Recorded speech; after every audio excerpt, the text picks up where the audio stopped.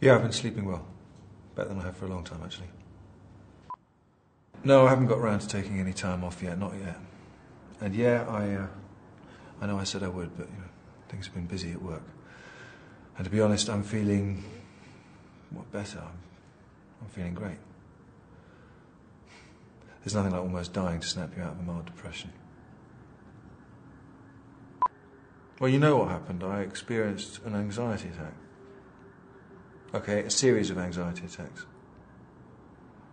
No, it won't happen again. I understand the process now. I recognize the signs so I can control it. Truth is, I'm actually pretty good at controlling my emotions. It's what I'm paid to do. Underpaid to do. Yeah, there were nightmares. Of course there were, but come on, I lost my wife and I nearly lost my son. It was torture, so absolutely there were nightmares. But suicidal impulses?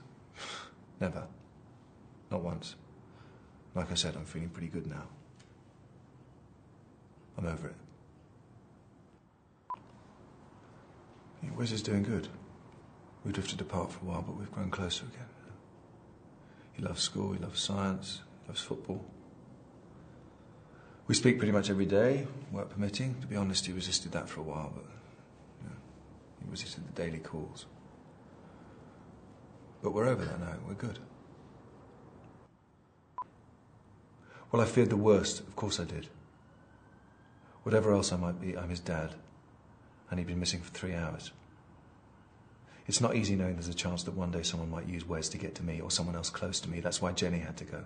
I couldn't see her hurt, and I won't see Wes hurt.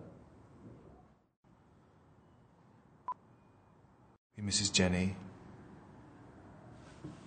He misses his mum. Of course he does. He's been through a lot. But things are better between us. He trusts me again. I think he does anyway. I hope he trusts me.